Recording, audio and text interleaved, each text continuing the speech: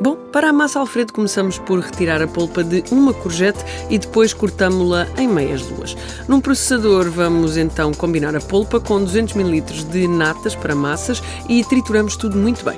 Num wok fundimos então um pouco de manteiga, adicionamos um peito de frango e temperamos-lo com sal e pimenta. Assim que o frango começar a ficar dourado, combinamos com a courgette cortada e o sumo de meio limão. Entretanto, num tacho com água e sal, cozemos 250 gramas de massa penne com um fio de azeite. Assim que a massa estiver cozida, vamos vertê-la para o wok e misturá-la com o frango e a courgette. Tempera-se com mais sumo de meio limão, sal, pimenta aqui para retificarmos os temperos e juntam-se as natas. Adicionamos um pouco da água da cozedura da massa e está pronto. Servimos tudo isto num prato fundo com uma chuva de queijo parmesão ralado e pimenta preta moída na hora. Esta é uma daquelas refeições que deixa uma pessoa a manhã inteira a pensar no almoço.